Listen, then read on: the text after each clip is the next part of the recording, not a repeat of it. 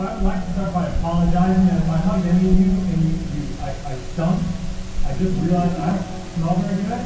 Um, I've been wearing this shirt for several days now, and it's on, I, I, I don't smell good, and so I apologize. And some of you hug me and then you're like, I don't remember Dan smelling like that. Um, so anyway, so for those of you who don't know me, uh, my name is Dan, pastor of this congregation uh, for four years, 2012 to 2016.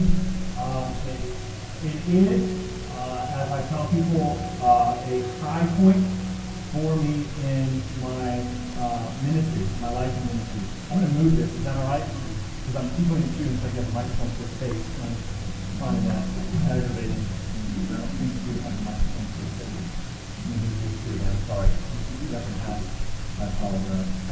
Um, so I need to tell you just from the get-go that uh, if I do start crying, um, that's not unusual for me, first of all. Uh, and secondly, because this is, this is, my heart is full right now. Um, I, I love this church. Um, I love those who I've known from before, those who I have not met who are now here, who are being fed by this church, encouraged by this church, um, who are having a, a place, a community to come to worship Christ and hear the gospel proclaimed. Um, I, I love that.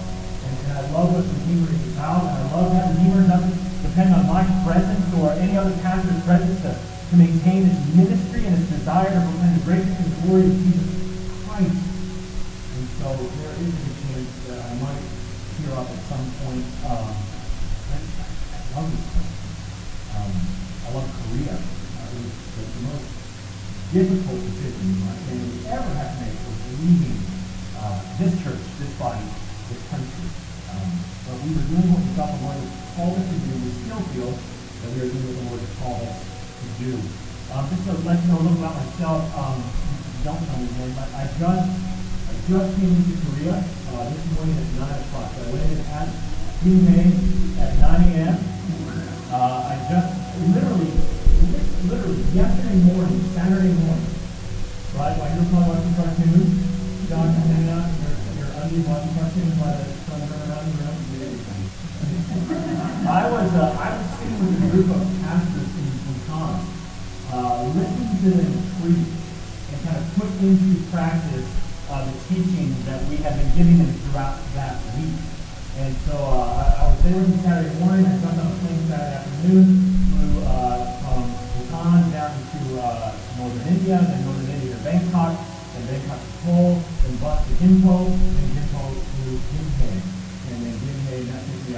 out which if you just met me, that's completely out of character, actually. I walked out of the airport and I said, that is not infinity, that's that's not him, infinity. He's like, that's not him. So you roll the window and start waving. That's not things, do change. Um, but I work with an organization called Training Leaders International. While I was pastor here, uh, I still traveled with TLI. What TLI does is we take theological training and to around the world who don't have access to it. And so I spend a large portion of my time traveling internationally uh, to places around the world, uh, just taking theological training and education. In fact, this trip to Bhutan that I just took uh, was my first trip outside of India since I've been with TLI. Generally, I go to India quite a bit, northern India and southern India.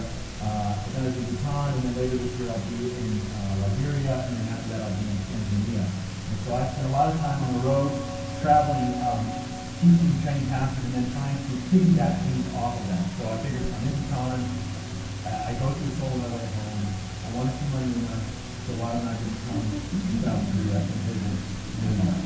So, that's like you call me,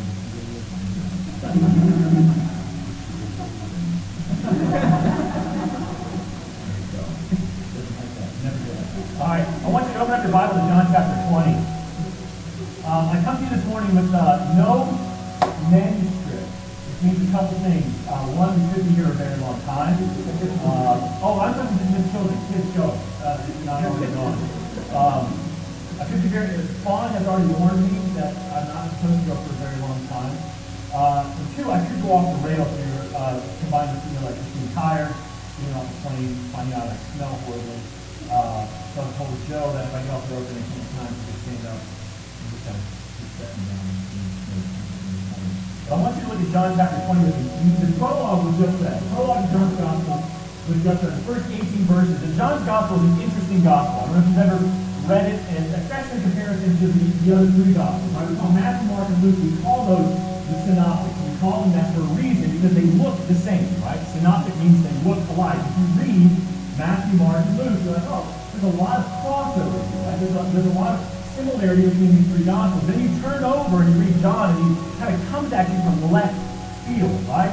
It, it, it's unlike the other Gospels. It, it's, it's unique in its take on the ministry and the mission of Jesus Christ. It all begins with that prologue that Rob and Joshua read. Because that prologue is not, a, it's not a chronological prologue. It's not like John is laying out kind of how he's mapping out his gospel. But what he is doing here is he's introducing to us the theological themes that are present in his gospel and that are going to unfold as he writes about the life and ministry of Jesus Christ. And that, that prologue, if you just listen to it, the way that Rob read it, the way that Joshua read it, if you just listen to those words, and, and you just hear the deep things that John is expounding, right? He begins with, I think he was the Word, and the Word was with God, and the Word was God, right?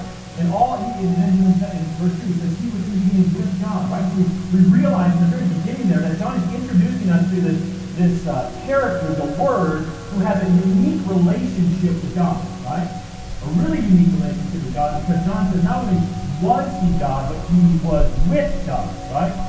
So, so he, he simultaneously is God and with God. So that, that speaks of both unity and separation, right? To be, to be God is to be God. To be with God means that there's some, some separation. There's a unique relationship that's present. And then kind of working through the prologue, John doesn't really tell us who this word is until we come down to the end, right? In 114, the word is flesh. The tabernacle among us, dwelt among us, literally pitched his tent among us seeing his glory.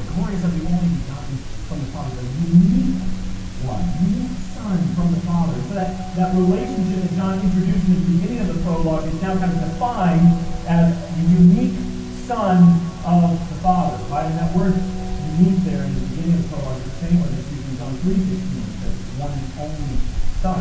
Right?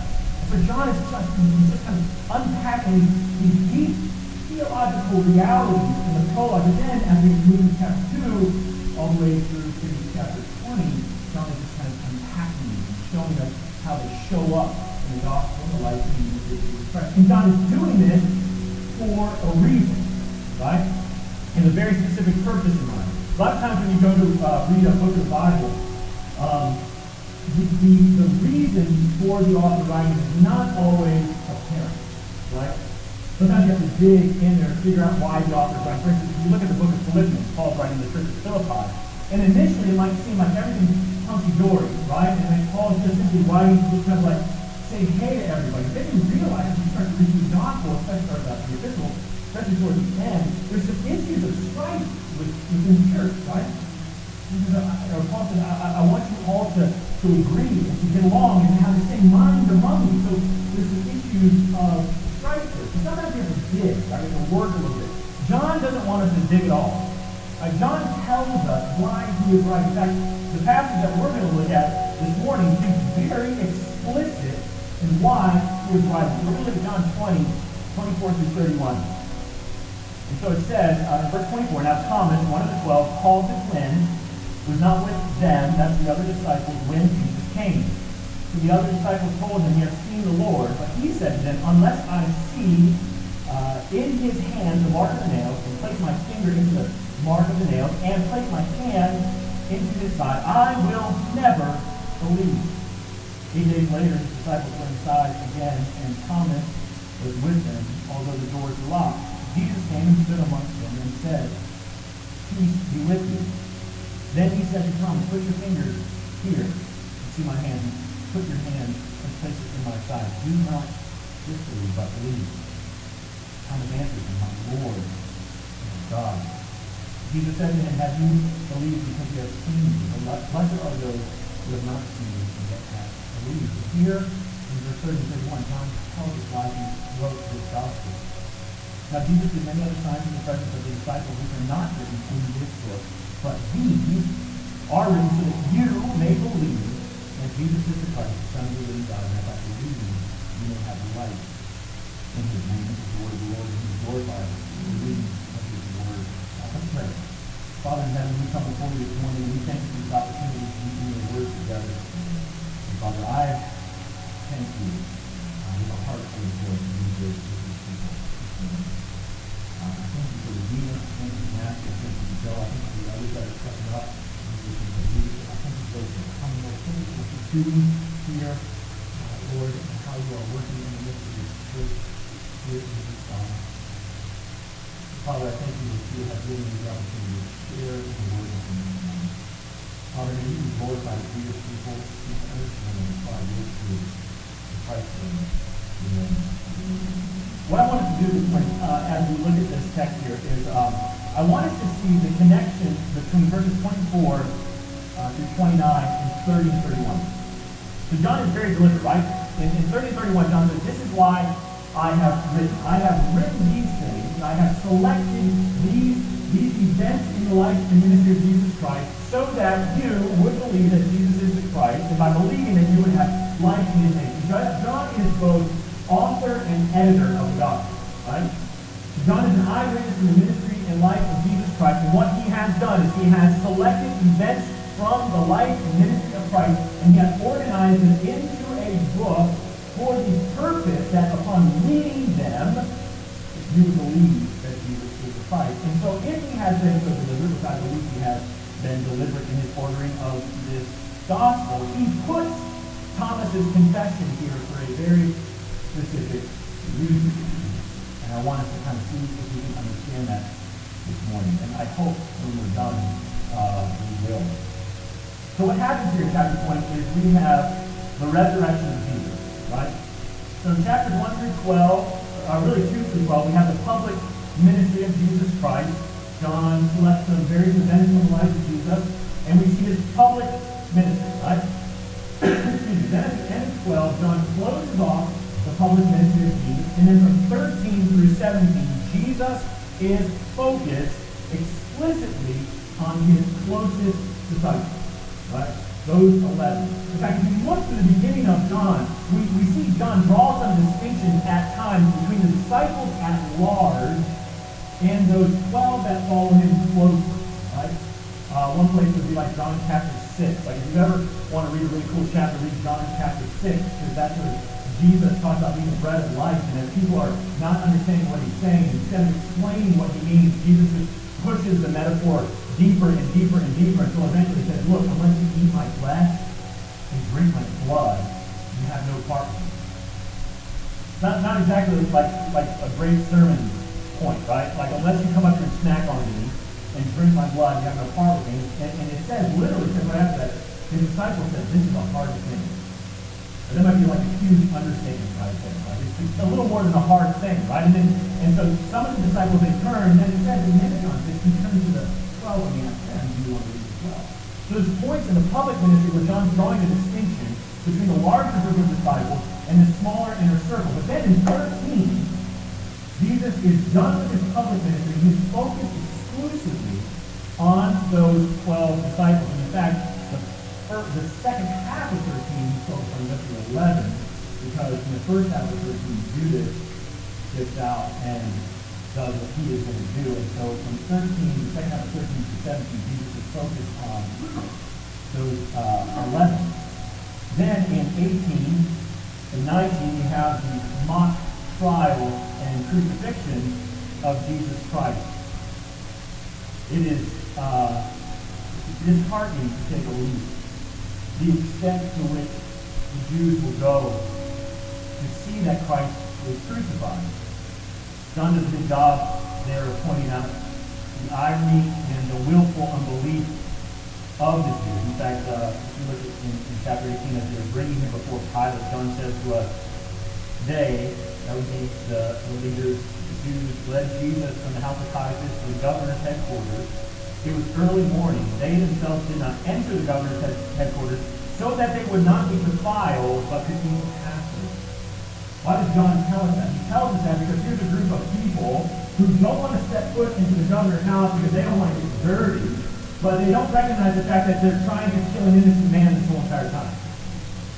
Right? John points out their deep hypocrisy. Right? They're like whitewashed tombs. They don't want to. They don't want to look dirty on the outside, but inside they're full of dead men's bones because they have no issue killing an innocent man to set foot in Pilate's place. Oh no, can't mess up the Passover, right? And so John's pointing out their hypocrisy and their deep willingness, desire even, to reject Jesus. They cannot believe in him as Christ. And then in 19 we have the crucifixion of Christ. And then in 20 we have the resurrection. Triumphant event where Jesus comes alive. And it starts off with Mary Magdalene going and she's walking to the tomb and, she sees uh, that the stone is rolled away and she immediately freaks out. She runs back to the disciples and she says, somebody has stolen the body of Jesus. And so then Peter and most likely John, they have a foot race to the tomb. John likes to point out that he's faster than Peter. I don't it might be a pride thing. But he, he gets to the tomb first and he stops short. Peter does what Peter does, right? Which is pulling the china shop right in there, just busting in the tomb. And John tells us that Peter sees the cloth, the linen cloth, where he's wrapping the linen cloth. He sees that kind of cloth to the side. But then he sees the face cloth folded instead over to the side. Right? John gives us this seemingly innocuous piece of information. Why did he tell us this?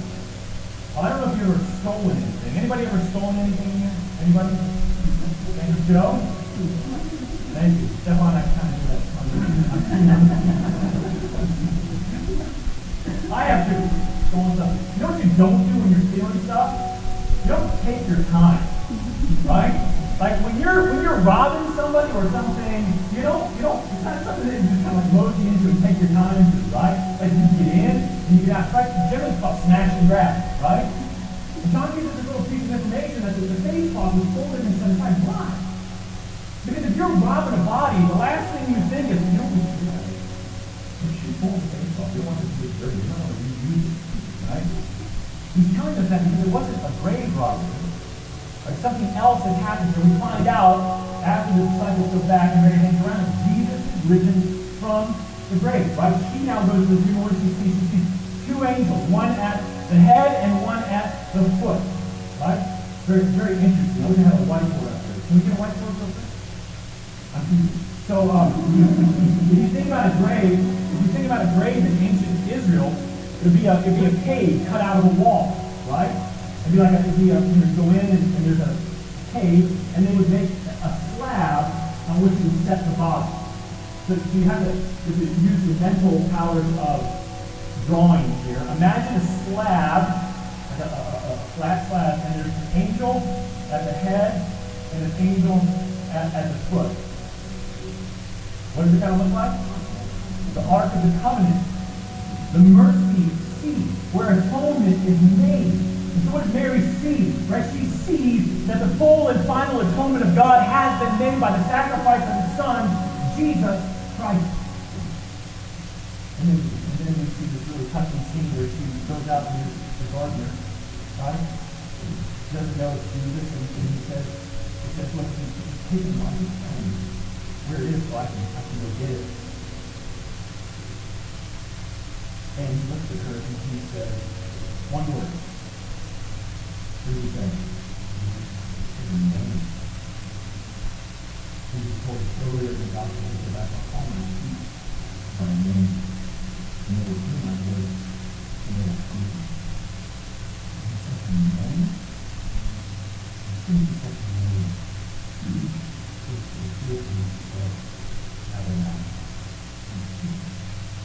he hears the name of the, the voice of the good shepherd, and that good shepherd speaks for the name to feed Christ. And then we have this event in, in verse 19 where, where Jesus comes to his disciples he appears before them. Now they're in a locked room, they're freaking out, they're afraid of the Jews, and Jesus comes in and he stands there and they do what we would probably do if somebody showed up in the locked room and freak out and he says, Peace be with you. Right? Partially, I think, to calm them down, partially because he is giving them peace. Peace that will sustain them. Peace that will be with them. Peace that will carry them through the tribulation that's about to come. Jesus says they treated the master of the house this way. How do you think they're going to treat? If they persecuted me, what do you think they're going to do to you? So this isn't just some simple greeting that Jesus is giving, like, hey guys, chill out, calm down. No, this is this is an eschatological peace being spoken over people. Peace that passes all understanding. And so Jesus says to them, as I've been sent, so I'm sending you now. Receive the Holy Spirit. And then in verse 23 it says something interesting. It says, if you forgive the sins of any, they are forgiven. If you withhold from any, it is held. Now Jesus isn't telling his disciples that they have a unique, like, cornered market on forgiveness and unforgiveness, right? What he's doing is, is come from the context of his sending them, the context of his commissioning them. And what did he commission them to do? He commissioned them to go proclaim the gospel? And what he is saying is that as you proclaim the gospel, those who repent and believe, their sins are forgiven. This is your sins have been forgiven by believing and trusting in me. So those who repent and believe the gospel that you will preach and proclaim, their sins shall be forgiven. And those who reject the gospel that you preach and proclaim, their sins shall not. It's not the disciples that are the deciding factor. It is the gospel of Jesus Christ that is the deciding factor. Now, we get to our text. In verse 24, we find something interesting, all right? So the first time Jesus showed up, we don't, we don't know how, long, how much time transpired, but, but Thomas wasn't with him, right? Thomas wasn't with him. So the disciples do exactly what you would expect them to do, right? They go find Thomas, and they say, we you. Right? Now, I, I like to read it because it says, they say, we have seen the Lord. I, like to imagine that it came with like a little bit more emotion than that. Like a little bit more excitement, right? I don't think they just were like, Tom, they saw Thomas in the market like, hey Tom, you are not going to believe who we ran into the other day. So like we're all hanging out in that room. You know the room that we locked and like kind of kind of out in yeah, our fort, you know that room, right, Tom? So we're in there just hanging out. Who shows up? Right? That's not what they did. They probably found Thomas and like, Thomas, listen, man, you're not going to believe this. We have seen Jesus.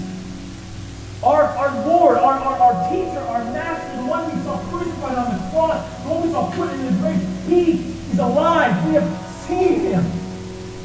And Thomas responds with the exact response you would think, right? He's like, dude, that's awesome. Look, let's go back to the room where you were. Let's try to recreate the scene. Let's try to make everything as it was and see will show up again, right? No, that's not how Thomas responds. That Thomas responds completely opposite. Like the way she denies right? Thomas says, unless I see in his hand the mark of the nail, place my finger into the mark of the nail, and place my hand into his side, I will never believe. A couple things I want to say about Thomas's remarks here. One, sometimes Thomas gets the name tag doubting Thomas. Right? Has anybody ever heard that before? Not a really great name. This is not doubt. This is a deliberate, willful refusal to believe unless sufficient evidence is presented. Right? Doubt is like somebody coming back and saying, hey, I won the lottery. Like, about that. That's right? Like, oh, maybe you want to That's doubt, right? Willful refusal to believe, like, unless you buy me a Ferrari, I will never believe that you won the lottery. In fact, in fact, if you look right here, uh, John says, I will never believe. And if you look at it in Greek, literally it says, I will not not believe. In English, how many of your English teachers do say that? Let's do that again. Really, I feel like I'm not connected, how many of you teach English? Don't come on. All right? what does a double negative do in English? A positive. Unless you are from North Carolina, South Carolina, Tennessee, or Georgia, otherwise the double negative makes positive. Possibly Texas. Possibly Texas works as well too. Right? But in Greek, if you put a double to each other, you know what it does? Makes it really negative. Not just like negative, it's like negative, negative. Right? Like I will not, not believe. And look what Thomas says. Like Thomas doesn't just say, I want to see, right? Thomas doesn't just say, I want to see Jesus. He says, I want to see his hand. And I want to, I want to see the mark of the nail.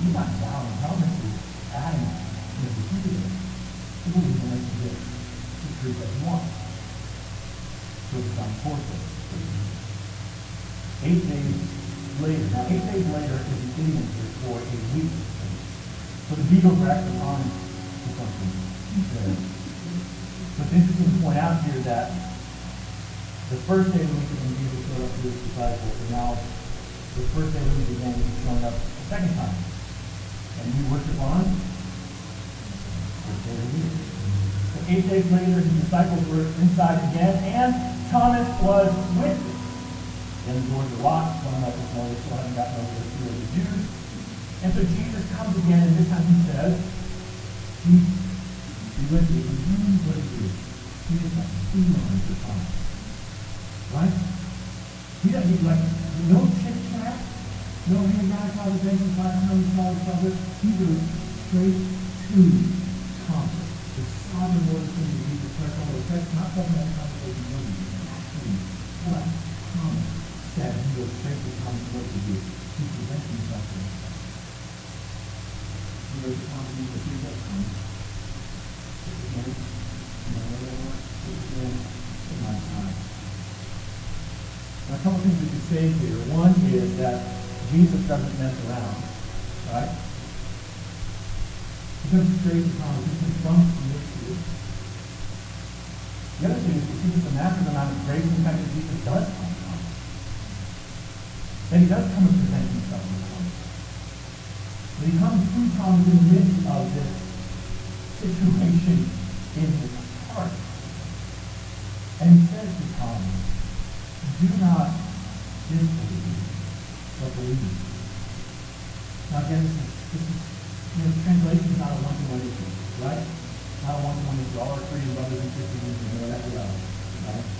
Translation is not a one-to-one issue. And, and so really what Jesus is saying is literally, he's commanding Thomas. The word for disbelief the word that used throughout the New Testament to speak of unbelief. Stop being an unbeliever, Thomas. Be uh, a believer. And then what happens? John does not imply at all in the text that Thomas took believers up on his hands. Right? Does not imply at all in the text that Thomas was like, all right, Jesus, first, do what I said I want. No, immediately. The presence and the written on the finger of Jesus Christ, immediately upon seeing him, standing before him, what happens to Thomas? Thomas is overcome and undone. And then the Jesus Christ is so what happens to him, touching him up, and out of his mouth, and my Lord, my God. There's a, one of my favorite passages in Jeremiah. You guys familiar with Jeremiah? Jeremiah is often called the weeping prophet because he, he had a ministry for which nobody responded. The only guy hanging out with Jeremiah was this scribe named Baruch, right? And there's points in Jeremiah's life when you see this struggle where Jeremiah is just like he's crying out, my God, why does this have to keep going on? And he, he gets put in stocks. He gets thrown in a pit. And how crappy is that? It's not like in a jail. It's like a pit. They dug a hole and they threw him in there. And there's a point where he's just crying out, and, and he says, to me, he's like, he's like, the word of God, he's like, I am weary of holding it in, he says. But he's like, if I try to hold it in, it is like a fire that just bursts out of. Like this realization that, that the word of God in Jeremiah, it's, it's not so much that, that he, he this? Uh, back up. Uh, Jeremiah is struggling in the midst of his ministry, and although there is a temptation to subdue speaking the truth, the truth is of such a nature that he can't. He's compelled by the very nature of the truth to speak. We see a very similar thing here in Thomas. He's compelled by the nature of the living truth. Standing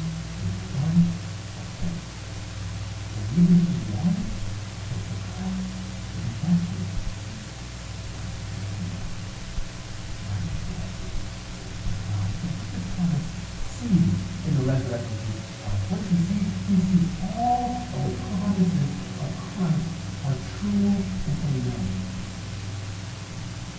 He sees that by the resurrection, the Father has accepted the sacrifice of the Son so that his death upon the cross was efficacious. It accomplished redemption. That's what the writer of Hebrews says. He says that through his death he purchased redemption. And so now all the words and the promises and the preaching and the teaching of Jesus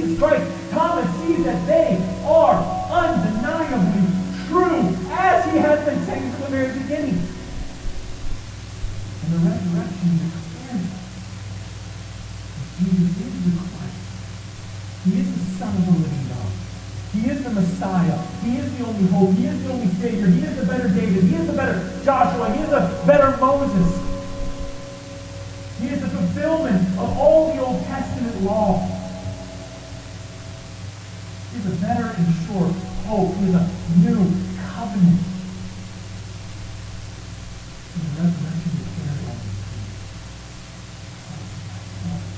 God, we have, we have a question. Well, we have a question started. I think Jesus responds to it. Now, again, I, I want to keep bringing this up. But if you read verse 29, it would appear that Jesus is simultaneously kind of rebuking Thomas and pitting one faith against the other. Right? So you read verse 29, have you believed because you have seen? So that sounds a little bit like a sting, right? Like a little bit of a rebuke to Thomas. But it's not necessary to read this as a question. I know you're saying we're getting the question mark and I can English. Just forget you do for a moment. Disconnect yourself from your profession.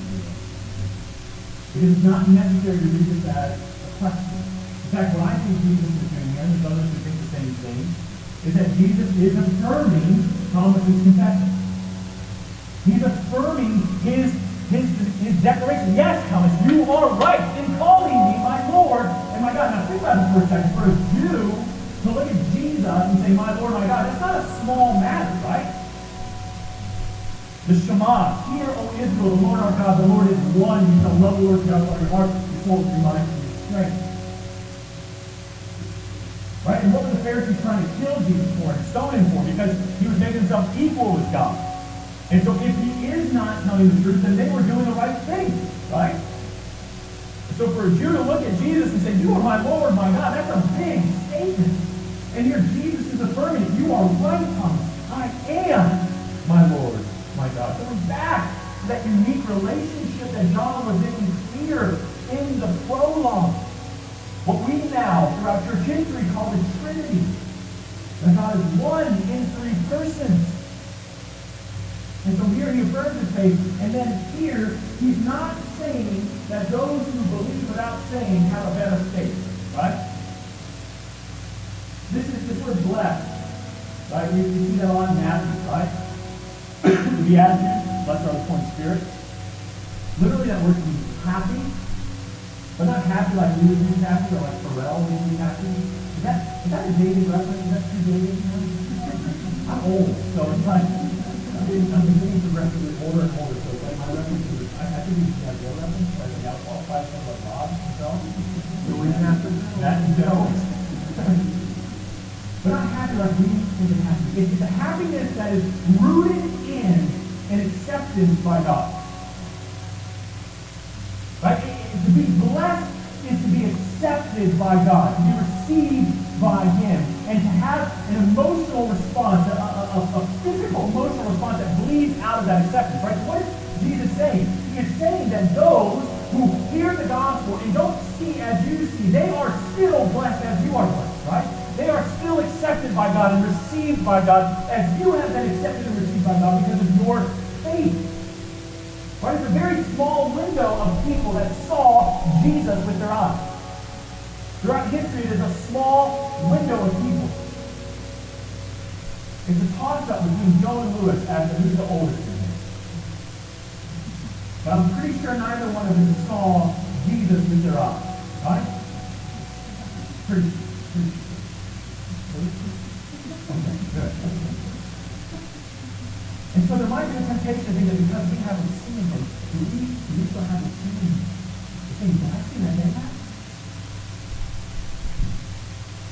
The same acceptance from God, even though we haven't seen, but we, we put our faith and hope and trust in the gospel message? And what does Jesus say? Yes! In fact, this is, this is kind of like what he says in, in the second half of the high priestly prayer. He prays for those who will believe through the proclamation of the disciple. And who is that? Us. It's us in here right now who are gathered in South Korea from all over the world, not in our home country, not in our own time zone, who are gathered together today to do what? To listen to the word of Christ. To worship the risen Lord and Savior. Why? Because 11 dudes did what they were told and started proclaiming the gospel. And Jesus prayed for us. In John chapter 17, and here he pronounces a blessing upon us that we are accepted by God because of our faith and trust in the gospel message. We're accepted. God receives us because we believe that Jesus is the Christ, the Son of the living God. Now we have a question. Why does John take this right before he tells us about this person? Remember, John is the editor of all the Jesus did many other signs in the presence of the disciples, which are not written in this book. Jesus told them, you may believe that Jesus is the Christ, the Son of God, and by believing you will be Christ, then the kindness shall put the necessary response right before to put in the person's mind. Why? I'm talking about it on the time. Because God is talking about you.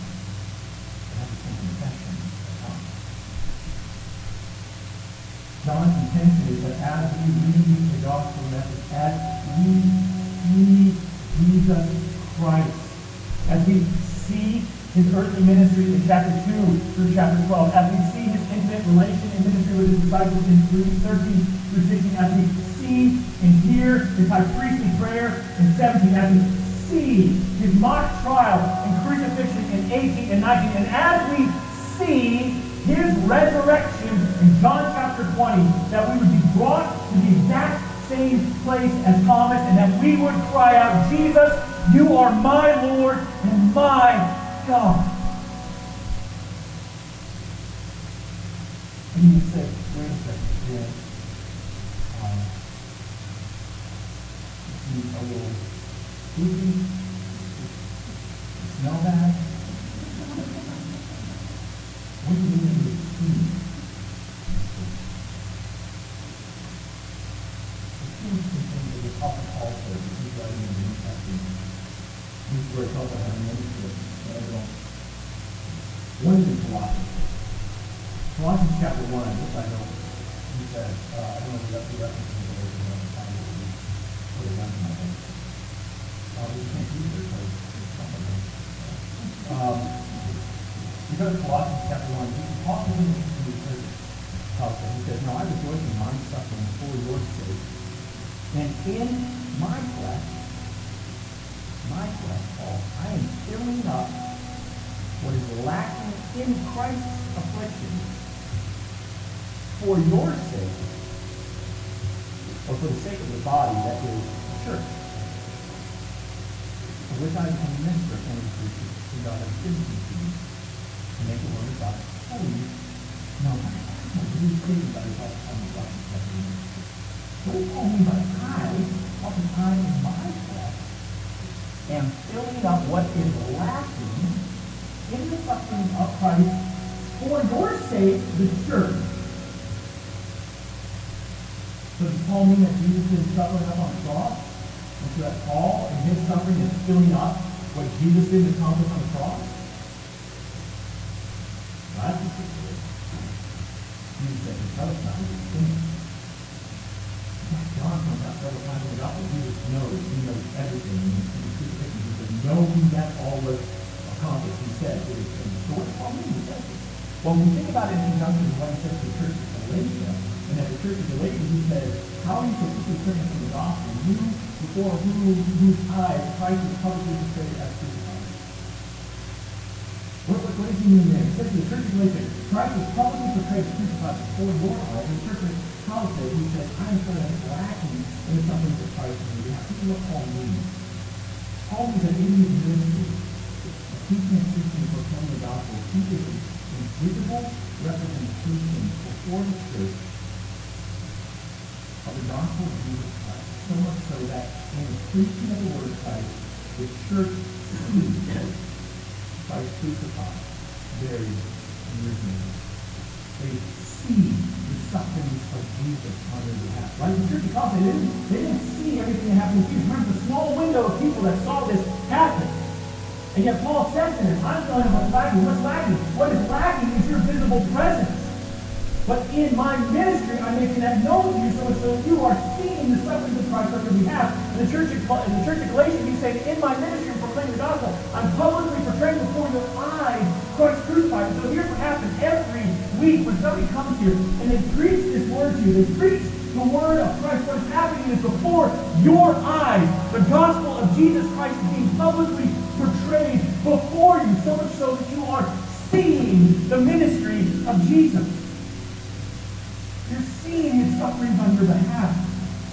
You're seeing the perfection of his life. You're seeing his willingness to go to the cross. You're seeing him drink the Father's wrath upon himself. You're seeing him be buried. You're seeing him be rose again, victorious over death, so that you would cry out, My Lord, my God. And by crying out and by confessing, you would have life. Life in his name. Exactly the the of the Bible. Because what happened in Genesis chapter 2 is from. God was not lying in God. In Genesis chapter 2, verse 17, where he says, People do this, we shall surely die. Adam and Eve died. And his plunged all humanity into death. And in Genesis chapter 3, humanity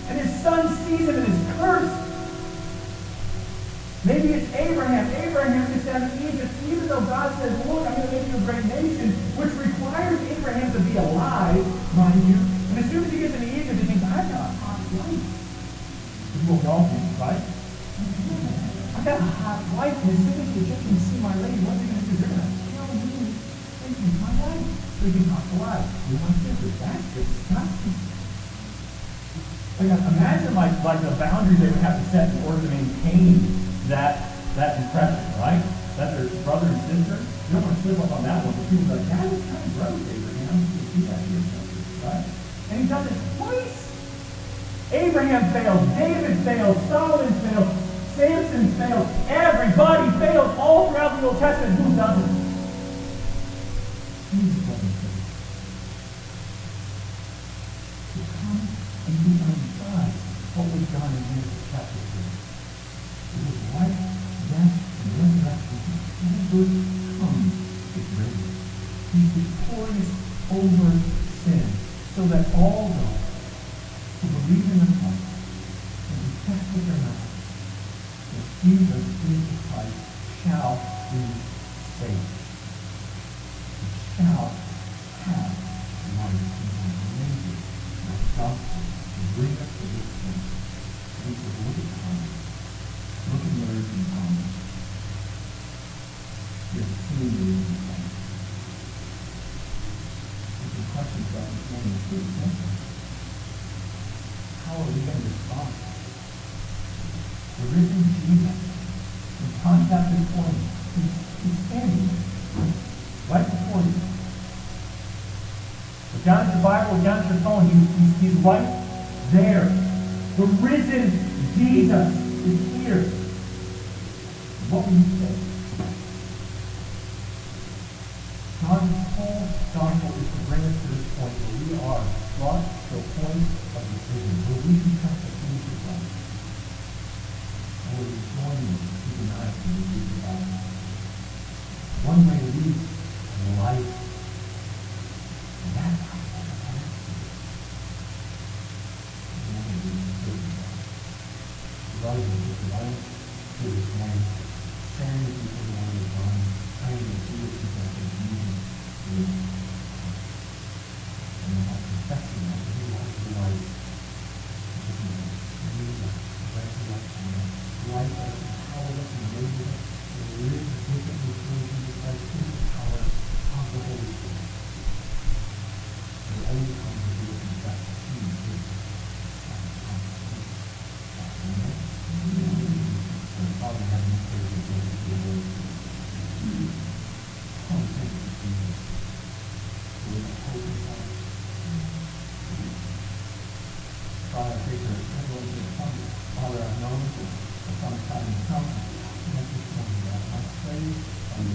once again, if you believe in our heart, what we call them, in the next of Christ, is that he will put the Christ in front of them and not let them have light. And when it's on our faith, or those who, who stand here and we know that they confess what they are, to live, to live in, in, in the power of new life.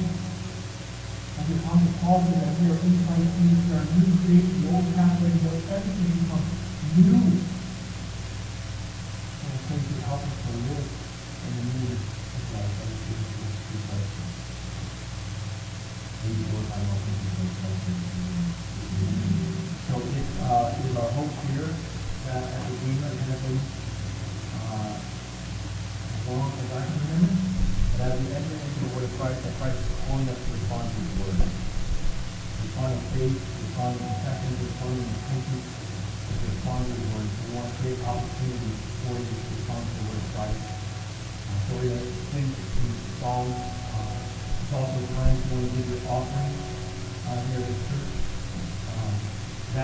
Duty of the members, right? If you're a guest with us, that's not an expectation that the church places upon you. They will have to take your money, but it's not an expectation that they place upon you. They have to, they have to, you know, celebrate the word of God.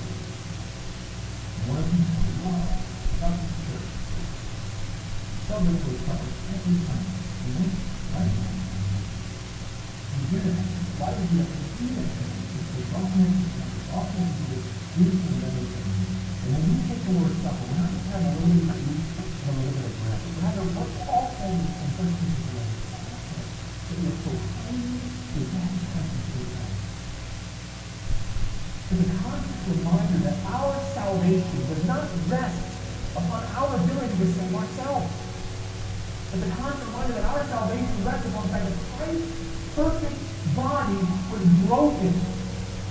And his perfect blood was spilled so that you and I could have life and forgiveness. And as we take communion, what we are doing as brothers and sisters in Christ is we are proclaiming over each other that Jesus is our hope and our salvation. And we will do it until he returns. So if you're here this morning, you're a believer, you have trusted Christ with your life, and we invite you to take the Lord's Supper. If you're here this morning and you're not a believer, I want to caution you. I want to caution you with biblical caution.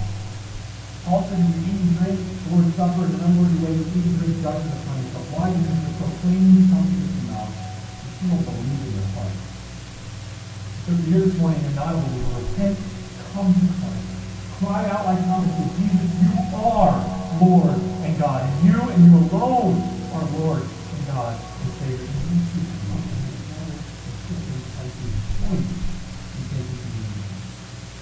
There's also going to be a prayer room over here. If anyone needs prayer, go or you need over there. If you need prayer in this time, go and be there with you. But we invite you to uh, respond as the Lord